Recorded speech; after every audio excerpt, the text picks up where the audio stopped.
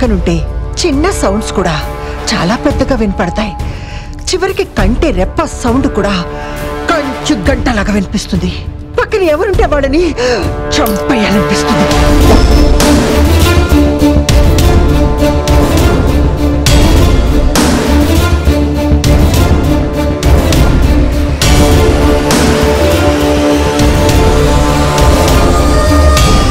What the hell is happening?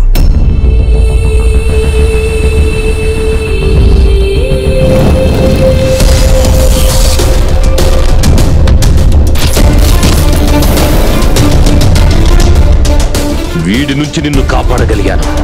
కానీ ఆ దుష్ట శక్తి నుంచి మిమ్మల్ని ఎవ్వరూ కాపాడలేరు.